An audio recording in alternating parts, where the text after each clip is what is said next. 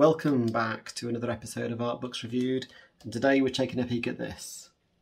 Ah, it's big, it's heavy, it's The Making of Aliens.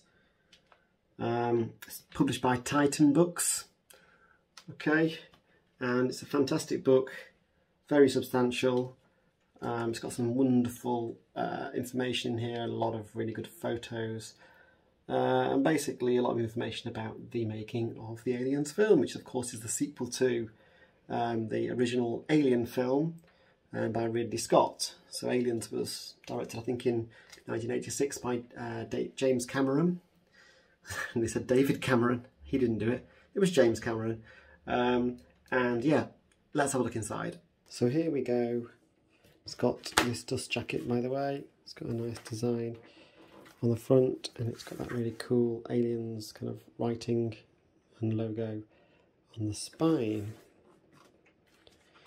And just before we go any further, just to sort of um, encapsulate what's covered in this book, highlights include Cameron's determination to make the film more of a war movie with more emphasis on action. So that's a departure from the first film, which was more slow paced, sort of a horror film, really, rather than this, which was, yeah, like it says, more action packed. So Cameron Hurd, and Hurd in this case is referring to Gale Anne Hurd, who was the producer. Um, struggle, their struggles to be taken seriously in the industry and the clashes that occurred between the director and the crew on set. The challenges faced by Stan Winston and his team in creating the huge alien queen puppet, yeah, I can imagine that was difficult. Uh, casting the actors to play the Space Marines and the grueling boot camp training they had to endure. Well, that doesn't surprise me. Uh, finding schoolgirl Carrie Henn to play the major role of Newt, yeah, that must have been also challenging to get someone right for that role, and I think they succeeded. Uh, the extensive and meticulous model work that went into the creation of the iconic ships and vehicles, yeah, absolutely, and they go into quite a bit of detail here. We'll see some of that as we go through, hopefully. Um, and persuading, this is really interesting, the anti-gun Sigourney Weaver to return in a film heavy on weaponry. I didn't know that. So apparently she wasn't keen on the all the weaponry. However, that is a major part of this film. So let's do it. The making of, oh look at that, it's not quite formed. It's going to say Alien. Is that dropship? Really like that. Love the atmosphere, so atmospheric. Love that bit in the film actually as well. It's real. There's a storm, isn't there? It's really raining, and they're trying to get inside inside this uh, colony building. Yeah, there is some great photography throughout this book. There's Ripley asleep.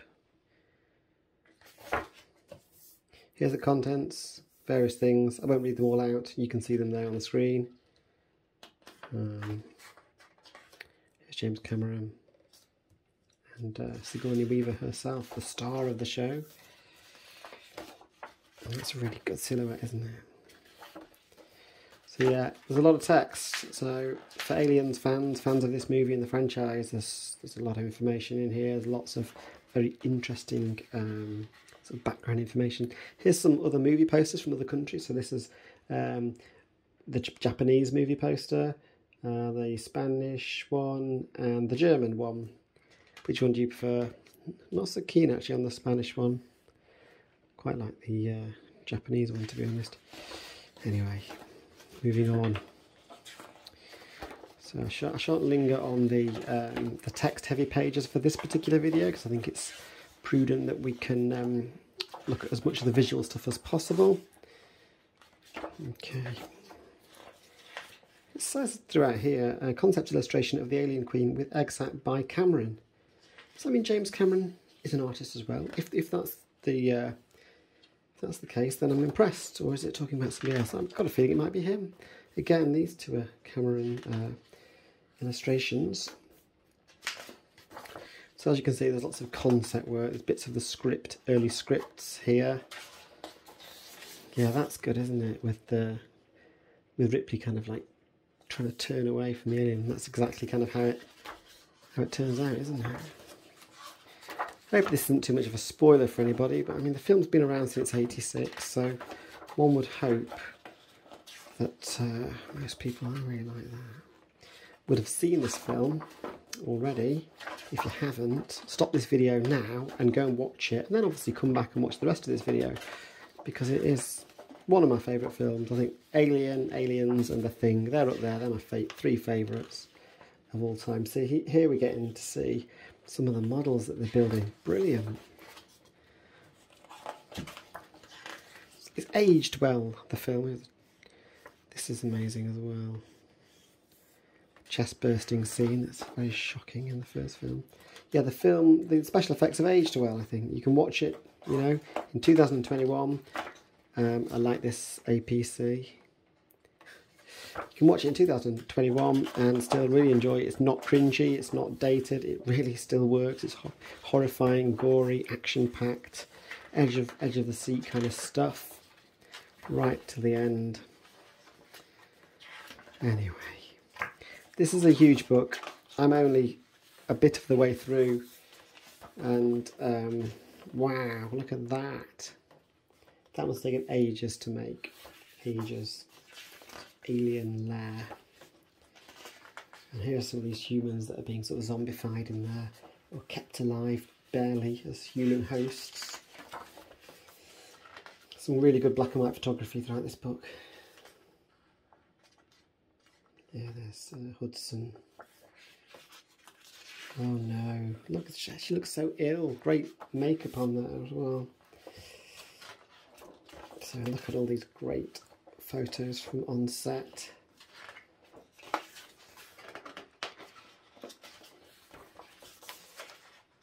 That's a great, I'd like that model. I'd like to own that. Sure, I wonder if it still exists. Now this is one of my favourite photos of the entire book. Love that scene. It's kind of where they realise that they're actually, they're screwed. Uh, and they've got to try and keep their heads and work out how they're going to fight back and survive against this seemingly impenetrable um, alien species. So, wow, look at that.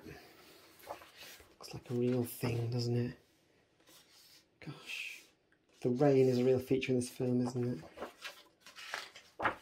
Let's see that various points. Here's James Cameron telling, showing how he would like the alien to be blasted from between that door. Do it like this, he says. Look at this. I'm going to keep skipping through.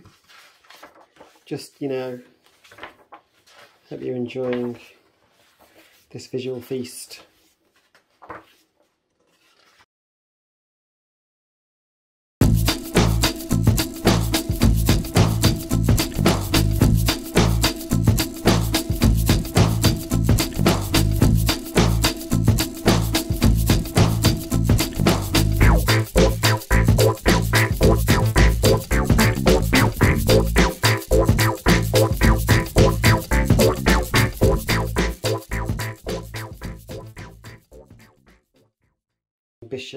Gets impaled from behind and he's kind of spitting out all this milky blood or android juice, whatever it is, lubricant. And then he sort of drags himself around, doesn't he, with half his torso. Yeah, oh, that's funny.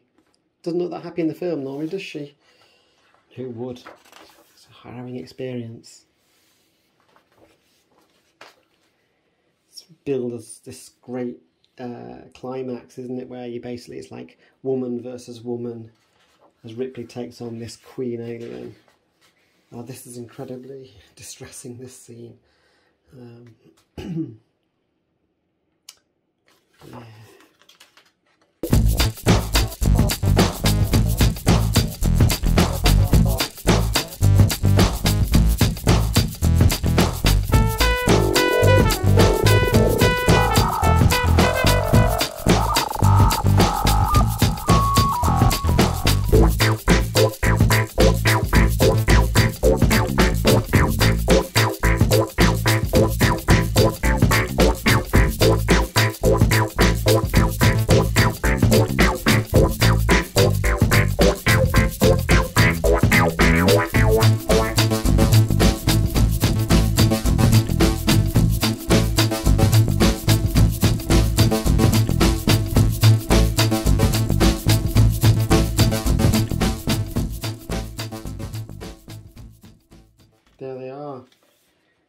Crew gets whittled down pretty quickly, doesn't it, as the film goes on?